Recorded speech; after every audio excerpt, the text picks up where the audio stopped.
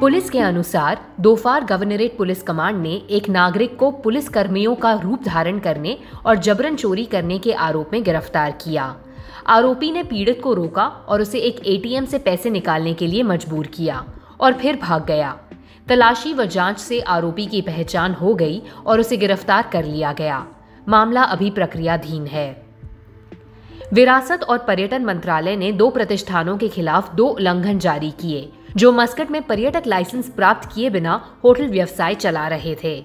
मंत्रालय ने सभी गैर लाइसेंस प्रतिष्ठानों से कहा कि वे पर्यटन कानून के कार्यकारी नियमों के अनुसार कानूनी प्रक्रियाओं से बचने के लिए आवश्यक अनुमोदन और लाइसेंस प्राप्त किए बिना गतिविधि बंद कर दें।